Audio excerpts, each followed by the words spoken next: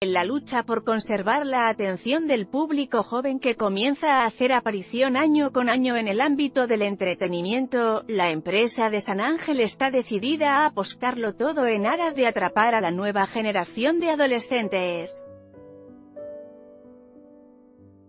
A principios de este año, el portal TV Notas informó sobre la crisis de contenido que se encuentra viviendo Televisa, por lo que ha optado por apostarle a melodramas que gusten más a los jóvenes, y es por eso que jugaron su última carta, un remake de una telenovela que continúa siendo un éxito hasta nuestros días, con el objetivo de que los millennials regresen a formar parte de la audiencia.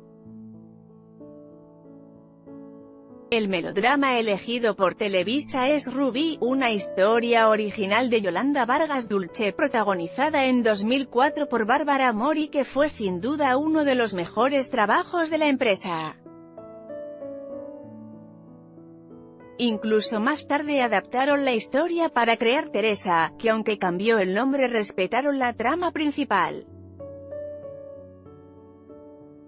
Aunque hasta el momento no han dado mucho detalle sobre el remake de este clásico, lo que sí se sabe es que la nueva versión contará con 25 capítulos. Asimismo, la antología de Fábrica de Sueños emitió para los cibernuatas un pequeño adelanto. En un mundo donde las buenas siempre ganan, ahora quien brilla y gana es Ruby. En el vídeo se puede apreciar que con el remake también vienen cambios. El más notable es que ahora Ruby será rubia, a diferencia de la versión de 2004 donde Bárbara Mori tenía el cabello oscuro. Sin duda este remake ha causado polémica entre los televidentes, pues aseguran que los refritos no son una buena opción para conseguir rating. ¿Tú qué piensas al respecto de la nueva versión de Ruby? Con información de TV Notas, Facebook, Instagram y La Neta Noticias.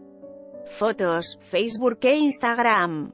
Anímate a comentar. Queremos saber tu opinión. Comentarios Powered by Facebook